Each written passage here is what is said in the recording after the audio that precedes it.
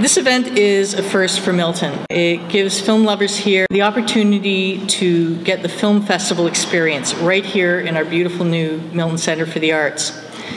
No traffic, no lineups, no hassle, no sticky floors, no chattering crowds, just a great selection of local, Canadian, and international films right around the corner. The committee's come up with some, as I say, some provocative and interesting films, uh, beginning with a Spanish film, uh, Blancanieves, which, uh, for those of you who don't speak Spanish, uh, means Snow White. Set in the 1920s in the world of Spanish matadors, it's mesmerizing and cinematic, a fable, and it's a silent film in the style of the artist. It's inspired by the Grimm's fairy tale and I think it's uh, uh, unlike anything that uh, you'll see at your Cineplex. Safety Not Guaranteed is a comedy. It's won awards at, at Sundance. I can't resist the plot line.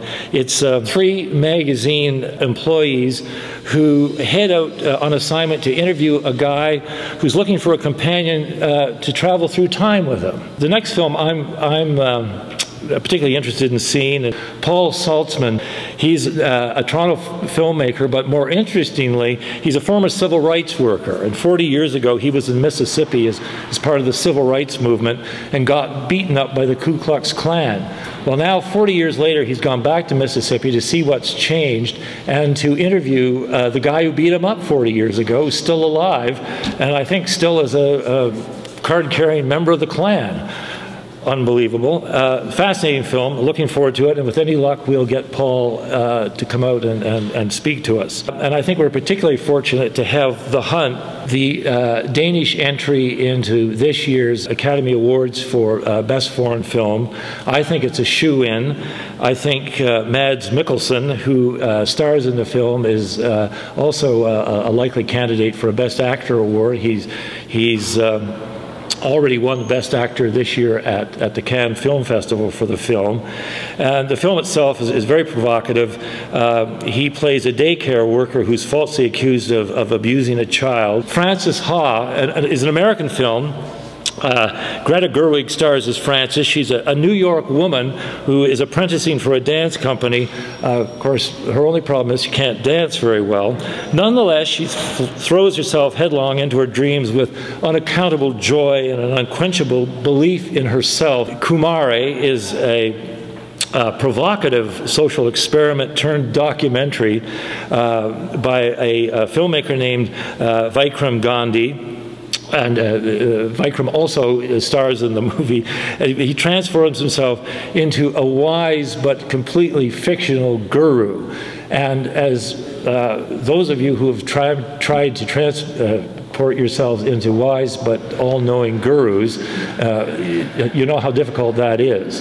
I've certainly tried to do it over the years and have failed miserably, so I can't wait to see the movie. Our Canadian film is, I, I think, a, particularly good one. It's, of course, a Quebecois film. I, I, think they're making the best and the most interesting films these days. It's from uh, uh, director uh, Xavier Dolan, uh, who is, you know, like 27 years of age and is making a film a year in Quebec. They're all uh, marvelous and quite brilliant, and you just shake your head over the, the, the uh, expertise of this young guy. Then we come to Sunday, in our closing film, English Vinglish, it stars Bollywood superstar uh, Devi. She's returning to the screen after a 15 year absence, and she plays a, a quiet, sweet tempered housewife from India arriving in New York City determined to speak English. It's hilarious, and I believe a lovely way to end what I hope is going to be a, a fascinating and, and interesting and, as, as I said earlier, provocative festival.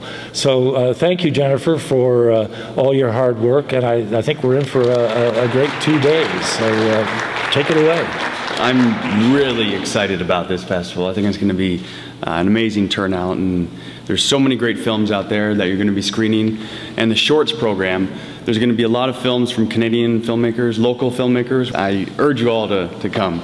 Uh, the film that we're going to be screening, one or two, uh, one would be a documentary, um, which I filmed myself uh, which is just me um, doing basically everything. Uh, the other one is a film we shot uh, last December. and it's been screened at the American Indian Motion Picture Awards in San Francisco, which we were nominated for Best Short Film. It's screening at the Aboriginal Film Festival in Winnipeg, along with Alaska uh, in later on in January, and the Milton Film Festival too. So um, I look forward to seeing you all there, and hope you enjoy it.